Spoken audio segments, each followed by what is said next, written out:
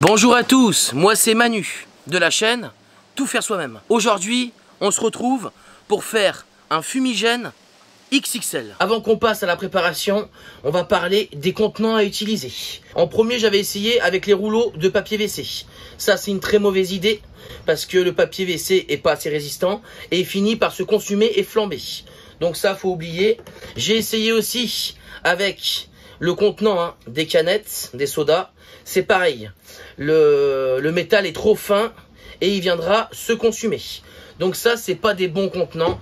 Il faut vraiment des contenants en métal qui soient assez épais pour ne pas rentrer en combustion quand tu vas mettre en route ton fumigène. Il y a aussi énormément de tutos qui circulent où on te dit que tu peux te servir d'une balle de ping-pong enveloppée dans de l'aluminium et que tu chauffes donc euh, la balle dans l'alu et ça finit par faire un fumigène. Alors les anciennes balles de ping-pong c'était possible, maintenant les nouvelles, ils ont changé les composants pour les fabriquer et c'est plus possible. Donc si tu as des vieilles balles de ping-pong, tu pourras le faire. Si t'en as pas, essaye pas d'en acheter des nouvelles. Moi j'ai essayé, la seule chose qui se passe, c'est que ta balle elle fond et il n'y a rien qui se produit. Je vais te montrer la liste de produits qu'il faut pour réaliser un fumigène. Il y a un produit que tu peux pas te passer, c'est le nitrate de potassium. Si tu n'as pas ce produit, tu pourras jamais faire un fumigène de qualité. Le nitrate de potassium, il est en vente sur Amazon. Je te le mets en description. Tu auras le nitrate de potassium, le bicarbonate de soude, le sucre et de l'eau. Voilà les quatre éléments que tu auras besoin pour faire un fumigène. Avec ces quatre composants, tu vas faire un fumigène qui sera blanc. Si tu veux mettre de la couleur, il va falloir rajouter dans le mélange qu'on va faire des crayons gras pour enfants. Donc ça, c'est la marque Crayola. Voilà à quoi ressemblent les fameux crayons gras. Tu sélectionneras la couleur que tu veux. Orange, bleu, rouge, enfin la couleur que tu as envie. Hein. Et il faudra venir incorporer ces craies que tu auras fait fondu au préalable dans le mélange qu'on va faire. Moi, ce que je te propose, c'est qu'on fasse une première couche de notre fumigène XXL qui soit blanc et qu'en dernier, hein, en dernière couche, on refasse un mélange et qu'on incorpore la couleur. On va attaquer la préparation. Là, je mets la casserole, je vais la tarer. Je t'ai mis la recette à droite, je te l'ai fait en volume. C'est beaucoup plus simple hein, que de parler en kilos. En volume, tu prends un contenant, c'est plus rapide. Donc là, je vais mettre le nitrate de potassium, le premier élément. Moi, je vais mettre 3 kg hein, pour ma préparation. Et je vais rajouter 2 kg de sucre. Bien évidemment, là, on est sur un gros mélange. Hein. Une fois que tu as incorporé ces ingrédients, il reste une dernière chose, c'est le bicarbonate de soude.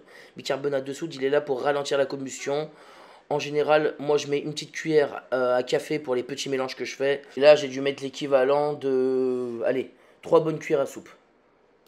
Le dosage, il est prêt. Je vais faire cuire la préparation en extérieur. Premièrement déjà pour l'odeur. Et puis deuxièmement, euh, en cas de souci, hein, si il y avait euh, un départ du produit, bah ça va faire un maximum de fumée. Donc vaut mieux être en extérieur. Je vais mettre des gants aussi et des lunettes. Pour tous les jeunes qui regarderaient cette vidéo, ne faites pas cette préparation tout seul. Si vous voulez vraiment faire vos fumigènes, faites-vous impérativement encadrer par un adulte. On est parti pour la cuisson. Faire cuire le mélange à feu doux. D'accord? Le but du jeu, ça va être de remuer constamment la préparation. Pour faciliter le mélange, moi je te conseille de rajouter de l'eau. L'eau, ça va te permettre de bien lier le nitrate et le sucre. Après, c'est au jugé. Hein.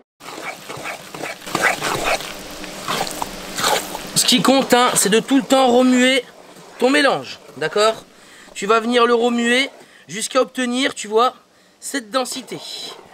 Et le but, hein, ça va être que le sucre caramélise légèrement, d'accord Et qu'on ait un mélange qui soit parfaitement homogène.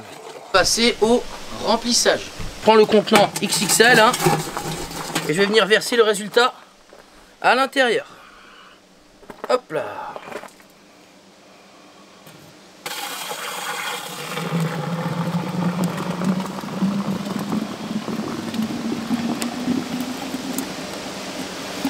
Nickel Venir tout de suite remettre de l'eau dans ma casserole pour pas que ça accroche. J'ai rincé le fond de la casserole pour qu'on puisse la réutiliser. Et voilà la partie, la première partie hein, de notre fumigène XXL. J'ai préparé une deuxième mixture, hein, comme tout à l'heure. Mais là, cette fois-ci, on va faire de la couleur. Ça fond super vite. Tu vois, je te montre, regarde. Tu vois, ça fond super vite. Donc c'est très simple à faire, hein, tu vois, regarde. En quelques secondes, ils vont être liquides. Coupe le feu direct, hein. ça va finir de fondre tout doucement, gentiment. Et on va aller lancer notre mixture. Super. Et là, on va intégrer la couleur hein, à l'intérieur.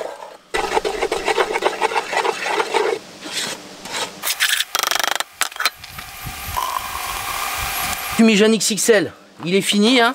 Donc là, il est encore bien chaud parce que on a le mélange qui était bouillant à l'intérieur. On va bien le laisser refroidir. Là, ça a dégueulé un peu parce que c'était pas étanche parfaitement, mais c'est pas grave. On laisse bien sécher. À l'intérieur, j'ai mis une petite tige, tu sais, un petit cure-dent. Je vais te montrer de plus près après, pour laisser une réserve pour la mèche, pour le départ, pour pouvoir l'allumer.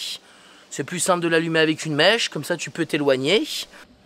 Tu vois à l'intérieur, moi j'ai mis un petit coton-tige là, la partie blanche qu'on voit. Comme ça, quand ça sera sec, je pourrais l'enlever. Et là, je mettrai la mèche à la, place. Migène, il est prêt, il a séché. Et on va rajouter au milieu, tu sais, où j'avais mis la petite, euh, le, petit, euh, le petit coton-tige hein, que j'ai enlevé. On va rajouter une mèche. Tout est en place, on est parti.